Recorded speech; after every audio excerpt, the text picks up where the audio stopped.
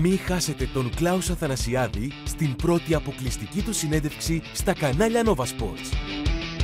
Θα μιλήσει στον Ευγένιο Δαδαλιάρα και τον Γιάννη Πάγκο για την επιστροφή του στην Ελλάδα, για τη νέα του ομάδα των Πας Γιάννηνα και για το προσεχές μάτς με τον Άρη. Αυτή την Πέμπτη στις 4.30 στο Nova Sports 24 HD.